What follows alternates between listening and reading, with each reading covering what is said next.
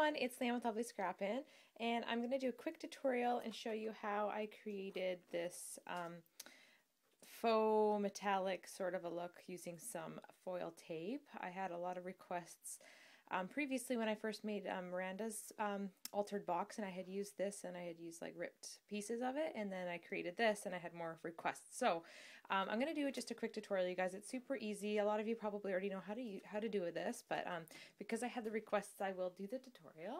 So um, the first thing you're going to need is just some foil tape. Again, I get this from my dollar store in like the hardware section where they have packing tape, masking tape, duct tape, all that kind of stuff. Um, so that's where I get mine.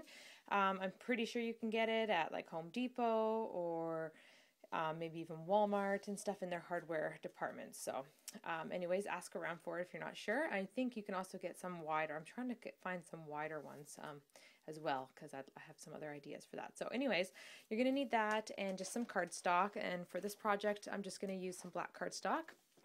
And then an embossing folder of your choice. I'm going to use this one here um, that I used in the project. It's the Tim Holtz um, Regal Flourish, um, Flourishes die. So, and it comes in a pack like this. I got it from Becca. Thank you so much. She gave it to me in a swap a while ago. So I'm going to be using that one, you guys.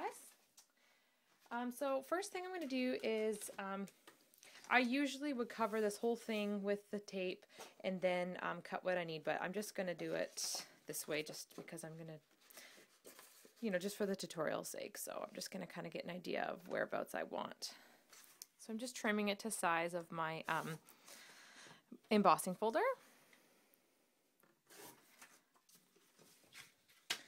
All right. Oh my goodness, we have some sun coming through the window. It's been a rainy, rainy weekend. So um, I'm also going to use a bone folder to really um, seal down the edges of the um, of the foil tape. So what I do is I just sort of get an idea of how long I want the strips.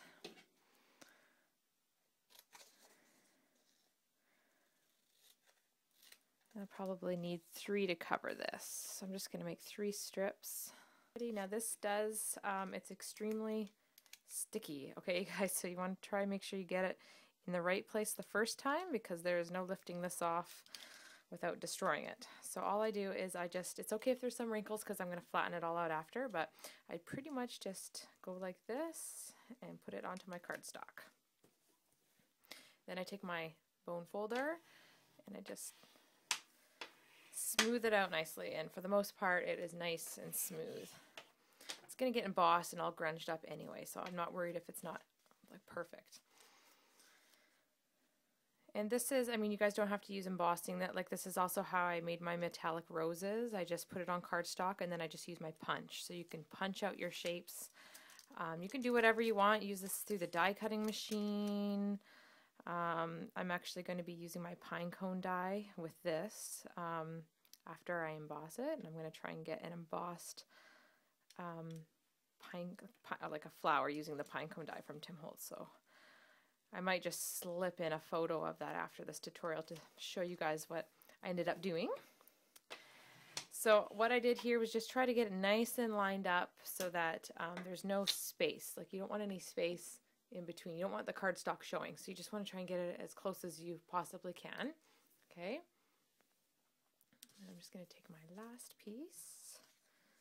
So what I'm going to do is just trim off the edges now. So any excess tape that's hanging over the edge. These are great, the non-stick scissors. It's going to stick to it anyway, but it's easy to peel off the tape afterwards. And now you're just going to run it through your Cuttlebug, your Big Shot, whatever die cutting machine, embossing machine you have. I've got my Big Shot here, and I'm just going to put it on the embossing um, folder setting, okay?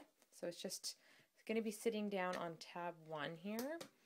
So you put it there. Then you just take your foil cardstock piece and put it in the embossing folder and this is the raised edge here so it's going to be impressing it downward.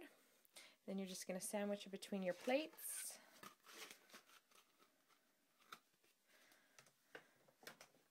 And then just run it through.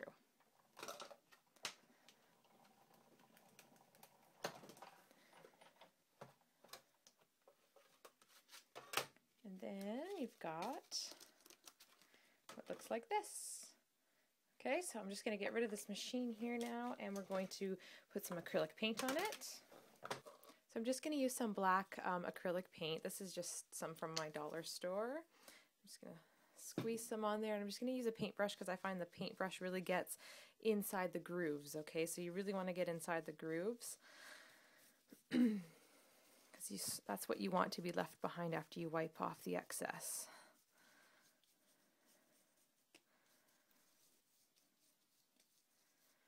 Okay. I'm just going to take my heat tool here and just heat set it slightly or you can let it air dry a little bit.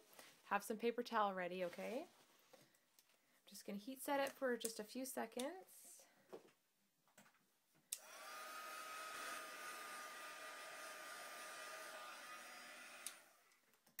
Okay, then I'm going to take my paper towel and just give it a good wipe. Not too hard because you don't want to wipe away that acrylic paint that's inside the grooves. If some wipes away, that's fine, but you want to, for the most part, the look that I'm going for here is to keep some of that in there, okay?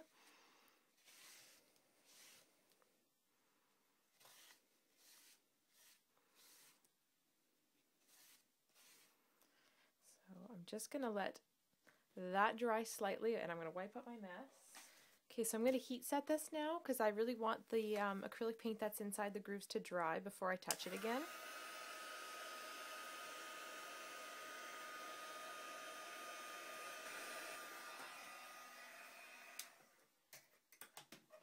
Now, if you want, you can also use um, multi-tones of like metallic paint if you want to change it out with alcohol ink, um, other acrylic paints, metallic acrylic paints to get like multi-tone, like rustic looking if you're going for more of a bronzy kind of a color. You can also do that as well. Um, alcohol ink, if you rub it over top, will alter the metal um, portion of it because it's non-porous, so the alcohol ink will really take to it. Um, and then you can also add other colors. You could just totally play with your paints to get the color that you want. It's so much fun. So now if you look closely, there's some streaks and whatnot of the um, black acrylic paint. All I'm going to do is take um, a piece of this, bunch it up, and just get rid of some in some spots, just because I like to, um, I just liked the look of it that I had last time. It just sort of made it kind of streaky looking.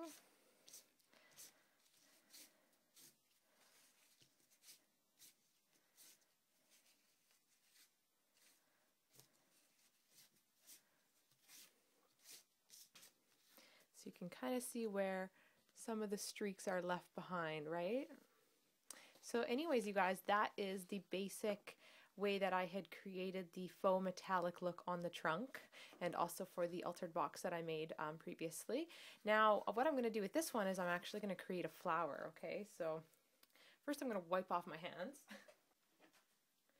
So I'm going to be using the pine cone die from Tim Holtz. I recently won this in um, a card competition from my LSS. I won a gift certificate. So this is one of the things I purchased and I just love it, you guys. So it comes with obviously the die for the branch and then the pine cone, which you can make into a flower. So that's what I'm going to do quickly with this. So I'm just going to speed this part up. I'm just simply putting it through my uh, Big Shot then I'm just going to grab the um, die cut here and get my tweezers and just grab the end of the spiraled flower here, or the pine cone really, roll it all up nice and tightly. And then I'm going to remove my tweezers, uncoil it, grab my round nose needle pliers, and just um, take each petal and just um, roll it downward. And I'm just going to do that all the way around the entire flower. Then after I'm done, I'm just going to grab my tweezers again, roll it up loosely, and then um, you have what looks like the flower already. Put down some glue while it's still hot, just kind of fiddle around with it until you get the look that you're going for. And then that's it, you guys. And so here's some pictures of the completed flower. I hope you enjoyed the overall tutorial. If you have any questions, let me know. Anyways, guys, thanks for watching. Take care. Bye.